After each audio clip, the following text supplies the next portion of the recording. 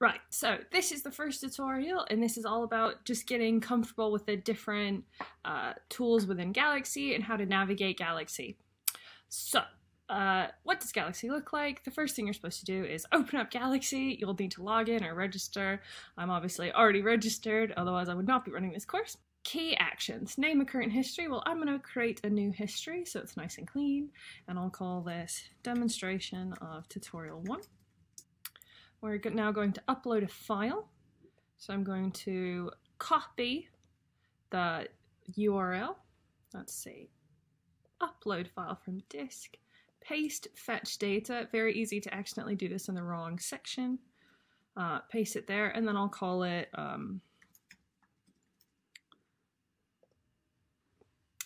adding to history, 100%, close, and then I'll wait for that file to upload. All right, so it's finally uploaded. So now I want to look at the file. So I'm going to hit the view data button. I can see all sorts of interesting things there. User tool. So I'd like to look at the quality of the data. So I'm going to look for FastQC. Little tip, pro tip here. Different instances will have different lists here. It's quite important you pick the right thing. So in this case, it's FastQC. The search tool isn't all that brilliant in Galaxy, but it will eventually get you what you need. Right, so I have my uploaded file, no change in anything else, execute. Now I can wait for that to happen. I'll fast forward a bit. All right, it's done.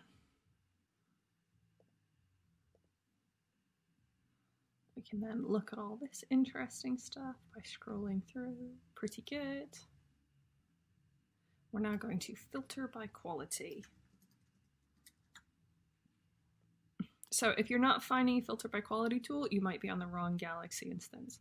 As I said, you kind of have to look for it. Here we go, it's under FASTA, FastQ. Filter by quality. Quality cutoff 35%, 80. Execute.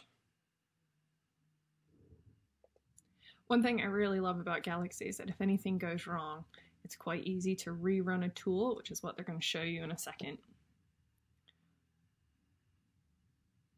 So we can now click on the eye there, learn a bit more. We can click on here, which tells you your parameters as well as your input and output reads.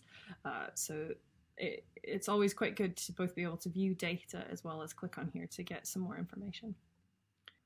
So now let's rerun it again, but let's choose a different setting and see what happens. So if I click here and I click rerun this job again, right, I'm now going to click 36 rather than 35.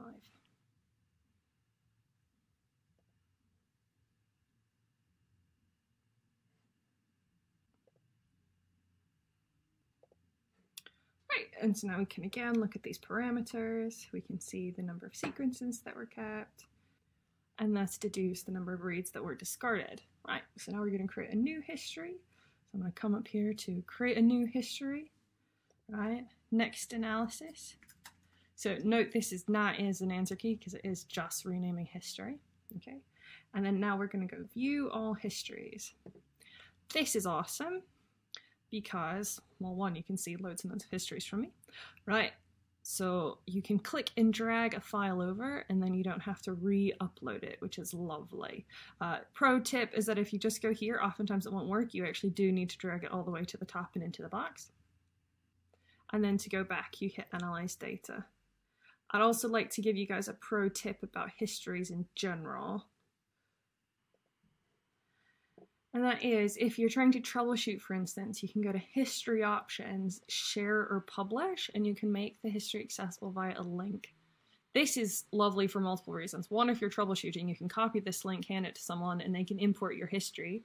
Uh, and the other thing that's nice is if you're working together to analyze something or you want to show someone your data, uh, that you can do the same thing and share it, share it via a link. So that's very helpful. Right, and so that was how you got through this tutorial.